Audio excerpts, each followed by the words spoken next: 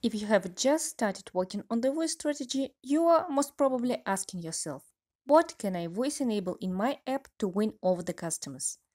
To answer this question, let's take a look at your app from different angles. As a developer, you feel that your app user experience is perfect.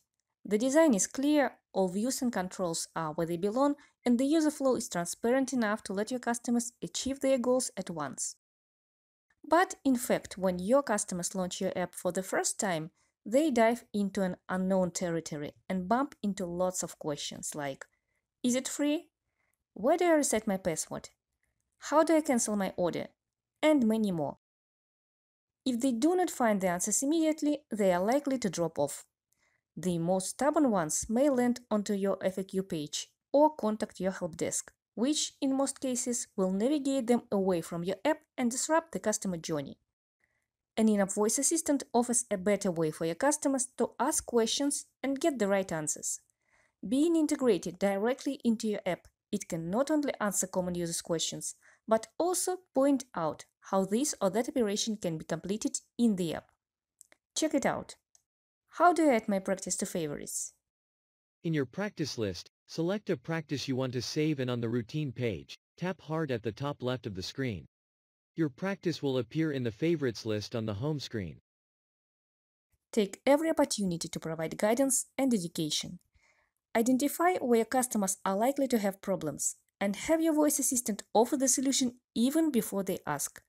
You can onboard new users with voice and go through the entire customer journey, giving helpful tips and visualizing where and how they should interact with your app.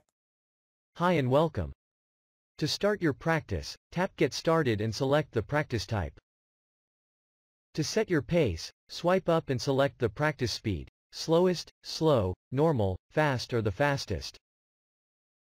Then, hit Start. Provide information every step of the way.